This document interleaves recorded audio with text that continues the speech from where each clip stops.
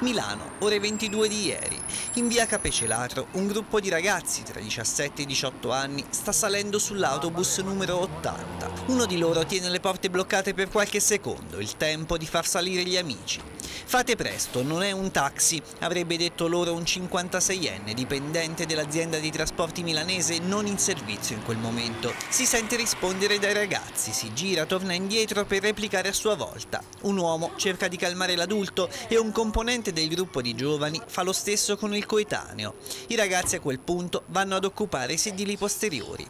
Tutto sembra finito, ma il violento epilogo deve ancora arrivare. Dopo le molteplici aggressioni avvenute a Napoli ad opera di baby gang nei confronti di coetanei e di un senza fissa dimora e gli atti vandalici perpetrati nella metropolitana milanese sempre ad opera di gruppi di giovani, sembrava che anche questo caso potesse riguardare una baby gang. Ad estrarre il coltello stavolta invece è stato il 56enne che al capolinea è sceso dal bus insieme ai ragazzi. Da questo momento in poi le immagini delle telecamere di bordo non ci sono più, ma è facile immaginare la rissa che ne è nata.